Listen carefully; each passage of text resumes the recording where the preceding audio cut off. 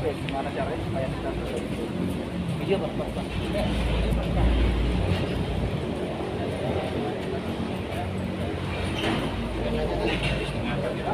Ya, ya. bang Riko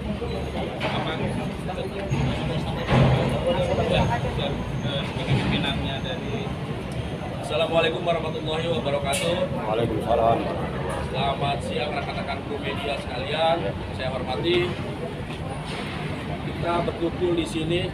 Saya sebagai pimpinan redaksi Media Budaya Indonesia membantu wartawarti kita Ibu Kartini di mana di sini kami meminta keadilan kepada pihak Polri khususnya Polsek Cakung terkait kasus yang sudah pelaporan sampai sekarang belum ditindaklanjuti.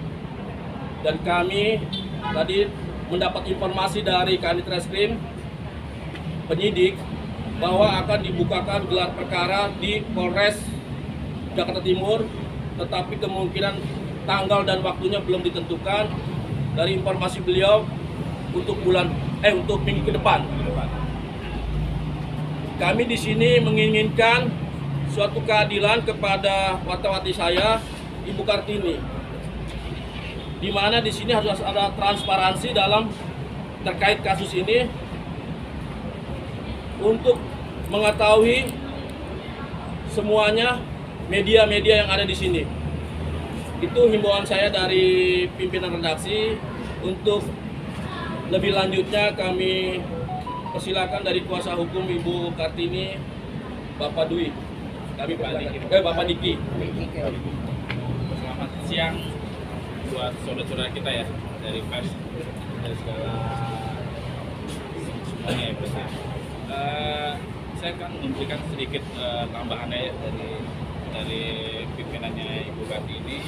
Memang perjalanan kasus ini agak begitu lambat ya. Tapi itu kita serahkan lagi ke pihak eh, kepolisian kinerjanya mungkin akan lebih bagus lagi ke depannya. Karena kebetulan eh, klien saya nanti ini seperti ibu ya